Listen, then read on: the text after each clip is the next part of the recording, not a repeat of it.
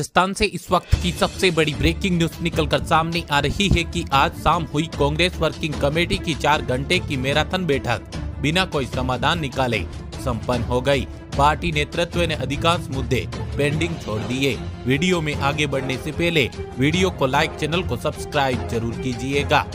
राहुल गांधी की भारत जोड़ो यात्रा, दो के बारे में भी कोई निर्णय नहीं हुआ।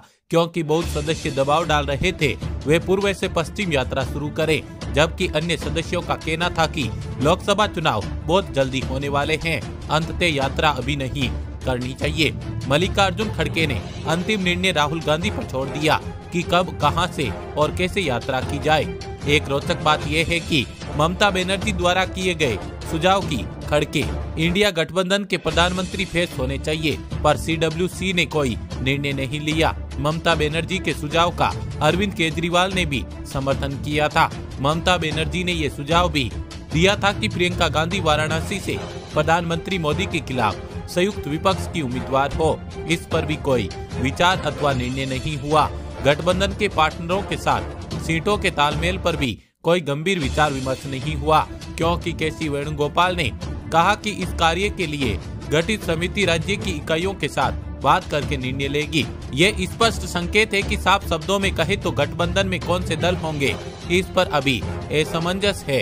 इस पर कोई निर्णय नहीं हुआ है कि जिन राज्यों में कांग्रेस हारी है, वहाँ के प्रभारी त्याग पत्र दे या कार्य करते रहे, वेणुगोपाल ने मीडिया से कहा, उनकी कोई ज़िम्मेदारी नहीं है।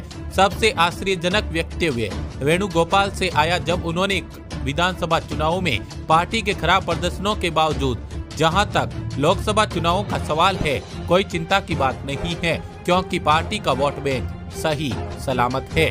संगठन में बहुत से पद खाली है, क्योंकि यूपी, महाराष्ट्र आंध्र प्रदेश और ऐसे ही कई अन्य राज्यों का काम संभालने वाला कोई नहीं है। एक वरिष्ठ नेता ने कहा कि पार्टी को शीघ्र इलेक्शन मोड पर आना चाहिए। एक बड़ी रैली नागपुर में 28 दिसंबर को आयोजित की जा रही है, तथा सीडब्ल्यूसी के अनुसार अन्य प्रमुख राज्यों में भी ऐसी रैली आयोजित की जाएगी।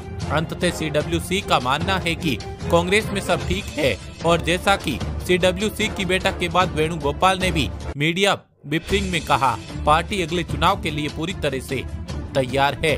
दोस्तों, वीडियो को शेयर, चैनल को सब्सक्राइब ज़रूर करें। धन्यवाद।